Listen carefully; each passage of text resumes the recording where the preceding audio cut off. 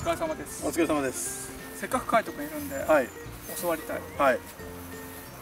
ふわっと上げるふわっと上げるかなんか高く上げる、はい。このグリーン周りのアプローチってあるじゃないですか、はいはいはいあれってなんかコツあるんですか、コツ。うん、てか打ち方がわからない。打ち方。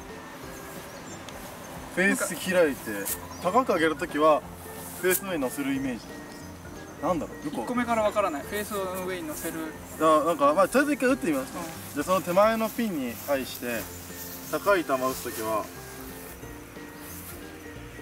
あそれそれそれそれそれそれそれそれそれそれ。これは普段のアプローチよりも若干ボールを左に置いてます。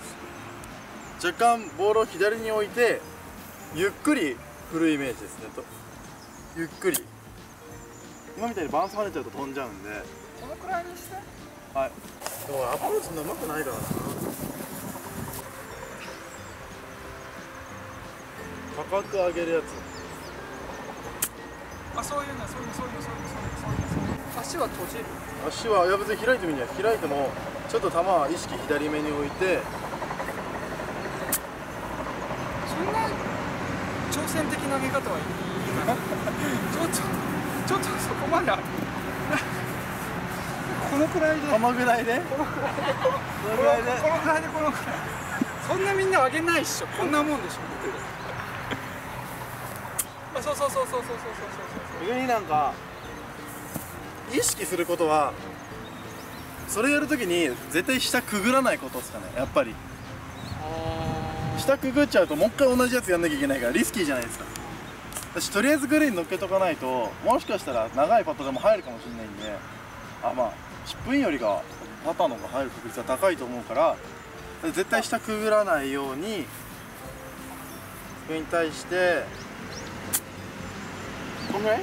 あそうそれそれそれそれまさにそれ。でこうやってあんま使わないの？いや結構使います。試合だと結構使いま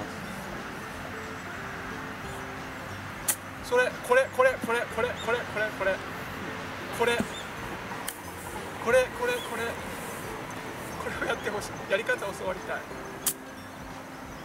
それ。インサイドから入れる。開いてボール左に置いて体重ちょっと右足でインサイドからポンっていく。体重右足？右足です。球上げるんで。お借りします。どうぞインサイドに開い開いてて右足で。右足絶対トップしそう。こボールは左ですよ。うこれ左？でひ右足体重。もうちょっと短く持ちます。そうです。もっと開きます。こんぐらい開いていいですすげえこのウェッジすげえ。インサイドそうそうそう。そんな振らない。ゆっくり打つ。そうそうあゆちゃん当たるよ。えちょっとマジ気をつけた方がいい。うん。そうだよね。はいおほ今振りすぎだよね。らはい振りすぎ。ですもっとクラブのもっ重さもうちょっとクラブの重さで。柔らかく。そうそうそうそう。そうフェースの面を変えないでください。うん。右足はい。いいじゃない。ですか今のはいいよ。距離感はどうやって選ぶ？距離感はめっちゃ感覚です僕。僕グリップの握ってる力とかも結構僕関係してますね。グリップを持って強く握ってる時は飛びます。僕は。優しく握ってる時ほど飛ばないです。あじゃあこうしてみる。えっと体は開くと関係体開きます。体開く。はい。あと開いてる分ボールは右飛ぶんで左向いてあげないとまっすぐいかないんで。あいつの手前を狙います。はい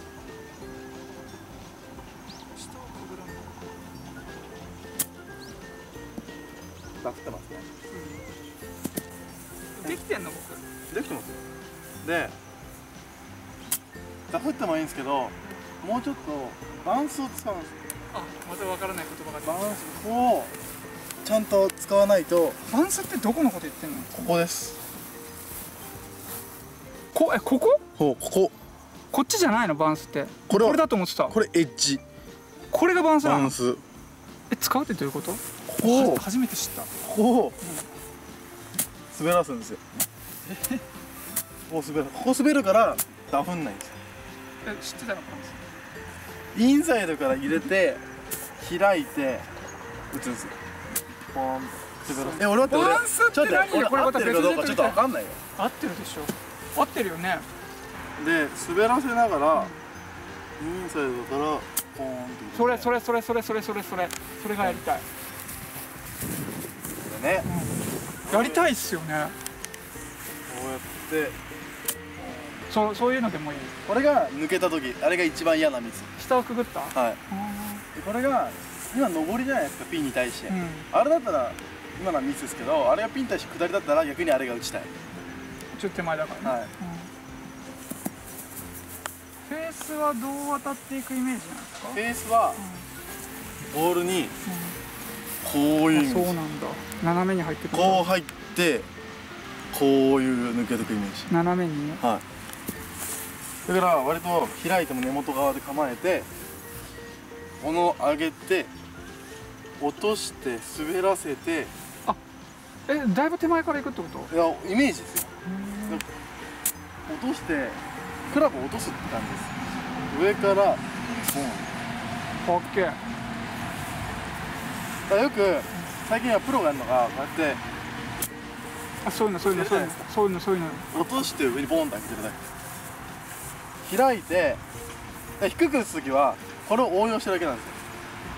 低く打つ時はめっちゃ左足体重にしてこれでボーンって出てるだけ落とすだけっていうのはなんで、はい、んん鋭角に入ってる鋭角にうんうん。入ってでここでそのバウンスを使って滑らすんです。よ斜めに入ってる。それで開いたまま本当に開いたまま入ってる。それでインサイドに抜くイメージ。ですかっこいいじゃん。はいやりたいっす。どうぞ。ただっす。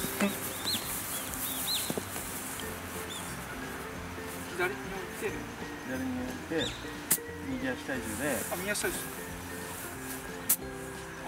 これ合ってるで頭そのふって見ちゃダメです。下見ててください。そうそうそう。ほら。分かった。分かった。うん。こういった。横に行った。それをあゆちゃん危険だぞ。こういうことっす。こうでシュッてこうじゃないです。こうっす。こう。インサイドから入れながら。くるっていくの？そう。っすそうっす。ちょっと今思いっきり打った。クラブの重さですよね。はい。あゆちゃん行くよ。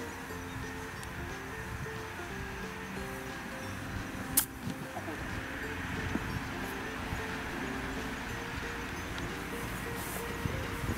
うだ開く右足。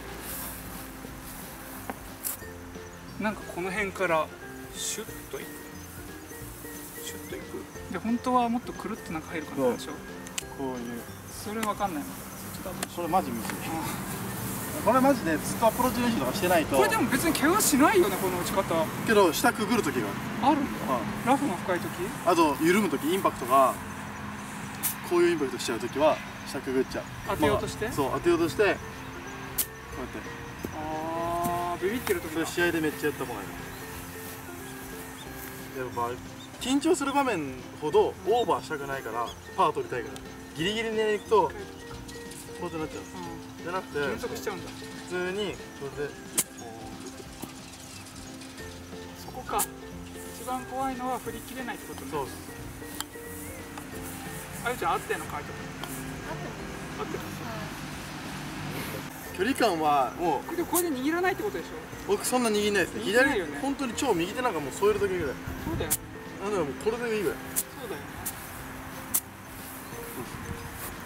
はい以上です。皆さんも試しもブラブラブラブラはい。ケットブラザーズです。僕でもできた。できてた？できてたよね。試してみてください。リンゴルフオープンニュースのお時間です。年内ラストは12月14日土曜日徳島県で J クラシックゴルフクラブですね、うんうん。初めて四国へ上陸します。おおリンゴルフオープン2019の大トリを飾るのは2020年1月17日埼玉県ランサンカントリークラブです。うんいいコースだ。来年ということもあり実は参加エントリーをしてくださっている方がとても少ないんです。決勝進出を目指している方はおすすめです。リンゴルフオープン2019も少なくなってきました。皆さんぜひご参加ください。お待ちしております。待ってます。バイバーイ